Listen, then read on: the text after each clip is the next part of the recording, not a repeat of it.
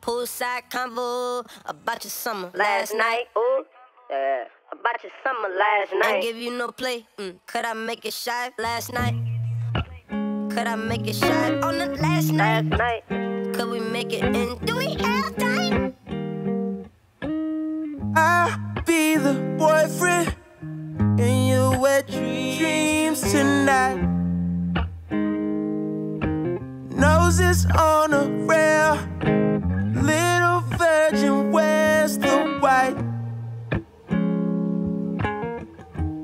cut your hair, but you used to live a blinded life. Wish I was there, wish we'd grown up on the same advice, and our time was right. I watched some TV in 2022. I watched Severance and it put me to sleep. I watched House of the Dragon and it had me looking forward to Sundays. And I watched Better Call Saul and it changed my life. Don't you love it when shows do that? That's why I'm making this video. I know YouTube's full of these video essays on Better Call Saul, but I don't care. Everyone knows this show is a technical and artistic marvel. Everyone knows that the writing is the best out there. Everyone knows the cinematography is massively underrated, beautiful, and inspired. And the performances are top notch. The toppest of notches. The fact that none of these people have won an Emmy goes to show you how much of a garbage pageant the Emmys are. The fact that this show hasn't won any Emmys at all for anything goes to show you how much of a cesspool extravaganza the Emmys are. They were all like, we gave all the Emmys to Breaking Bad, fuck off. But I'm not here to rag on opulent legacy media jerk-off fests. I'm here to tell you I binge watched this show two months ago, and it broke my heart. I haven't stopped thinking about it, and nothing I watch can really compare to it. And that's including the show it was spun off from, Breaking Bad. And that is an amazing feat because Breaking Bad is one of the TV shows of all time. Alright, memes aside, Breaking Bad is one of the greatest TV shows of all time. It's S tier television. Spin offs are not supposed to be better than the original show, especially if the original show is Breaking fucking Bad. But Better Call Saul is. It's like Vince Gilligan and Peter Gould were all like, alright, we caught lightning in a bottle, but let's do it one more game. And this doesn't denigrate Breaking Bad at all in any way.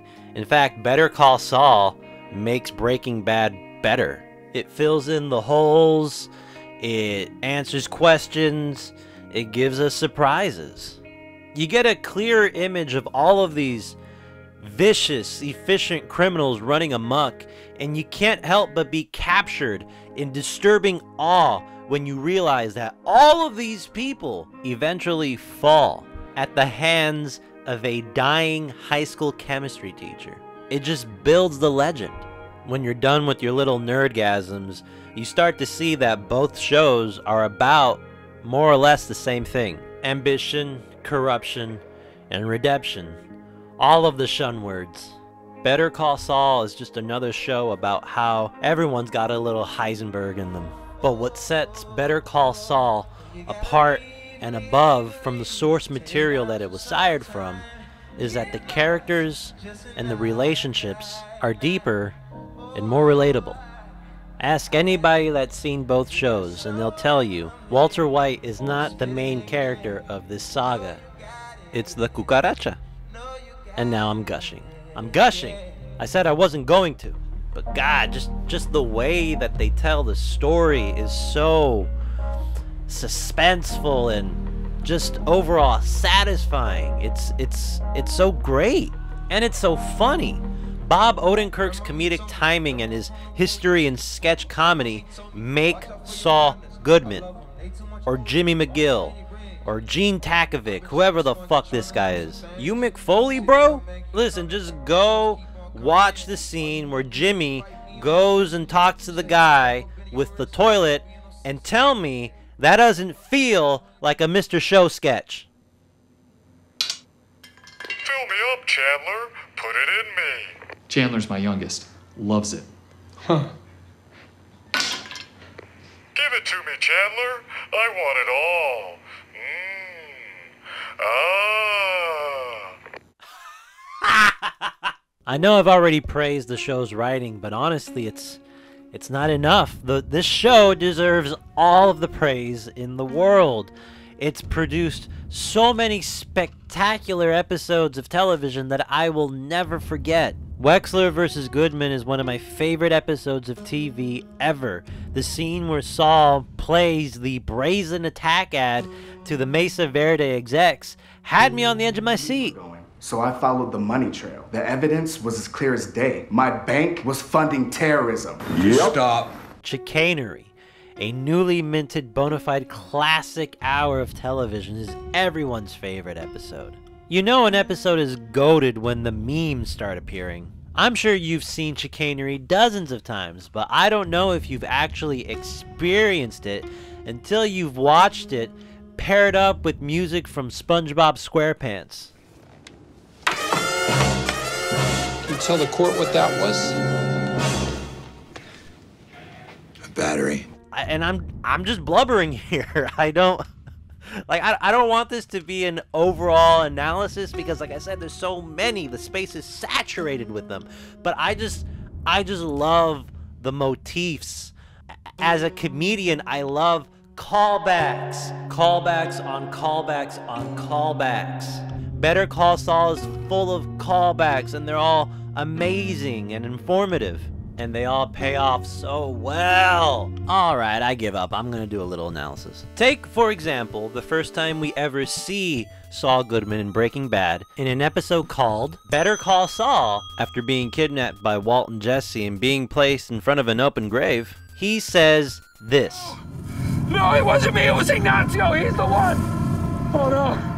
Oh no, no, no! Siempre soy amigo! Siempre, siempre Shut soy up, amigo Eric. del cartel!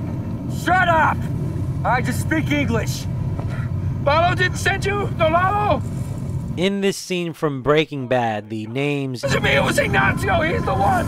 And Lalo didn't send you? No, Lalo? are just throwaway names that are of no consequence. Twelve years later, though, in Better Call Saul, Vince Gilligan and Peter Gould decide to pull off a gangster narrative move, and they introduce us to Ignacio and Lalo. Two fucking impeccable characters. Those names don't go to waste. Ignacio Varga is one of the beating hearts of Better Call Saul. He's the ultimate underdog, and you can't help but root for him, even though you're very aware of how doomed he is. And when it comes to Lalo Salamanca, well, the Better Call Saul Breaking Bad universe has its fair share of boogeymen, and Lalo is the king of all of them. Everyone in Better Call Saul is afraid of Lalo Salamanca. Even Gus is afraid of him. This Mexican motherfucker materializes one day in a kitchen making tacos, and what's one of the first things he says? Te vas a morir. The man is basically Satan, okay? ¿Quieres ser amigo del cartel? You want to be a friend of the cartel? Ay, siempre soy amigo! Siempre, siempre soy amigo del cartel! Lalo just causes maximum trauma. And one of the individuals he causes maximum trauma to is good old Jimmy McGill. Anyway, this scene is fleshed out more in the Better Call Saul episode, Breaking Bad. I'm telling you, man, callbacks on callbacks on callbacks on callbacks. Oh, it gives me the chills. So, who's Lalo? Who? Lalo. Got some dude named Lalo sent us. You seem pretty freaked out. Never heard of no Lalo on the street. It's nobody. Hey, are we gonna try that again? Pause. One of the first things I'll point out look at this shot. So sick. This is like some horror film shit. So close and tight. Jimmy's looking over his shoulder like he's expecting some ghost or demon to grab him. The man is haunted. And what does Jesse ask? Who's Lalo? Who? Me? Nobody. It's nobody. You gotta understand, For a good portion of 2022, I thought we were all gonna die. I thought the war in Ukraine was gonna escalate. I thought we were gonna have World War III on our hands. I thought we were all gonna Terminator 2 ourselves. This show, when it finished, had me so fucked up and in my feelings that I forgot all about that. Why do you think Frank Ocean is in this video? This whole dumbass idea for this video was conceived on a drive home from school. I was listening to this song, thinking about the conversation I was going to have with my girlfriend when I got home. I knew we were going to talk about how messed up this show had us and how fucking unfortunate it was that there was no more of it to watch. And yeah, it had a sad, but it was a good kind of sad, a beautiful kind of sadness. The don't be sad it's over, be happy it happened kind of sadness. And more than just taking my mind off existential global political crises, Better Call Saul made me come to terms with the hypothetical apocalypse I thought and still think is looming over all of us. On that same drive home, I thought to myself, if the nukes fly and we all get vaporized, I'm okay with that. Why? Because I got to see Better Call Saul and that shit was dope.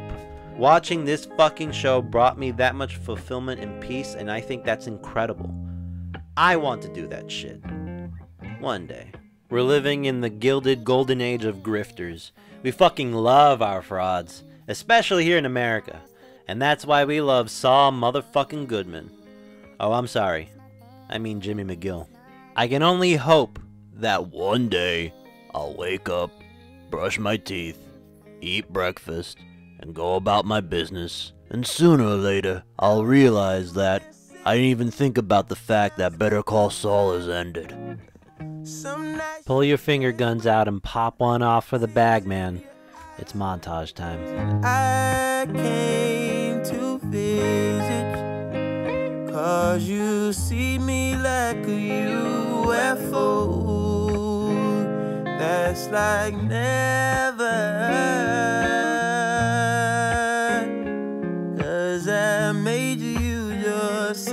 self-control And you made me lose my self-control My self-control Keep a place for me, for me. I'll sleep between y'all, it's nothing. Keep a place for me. It's nothing, it's nothing.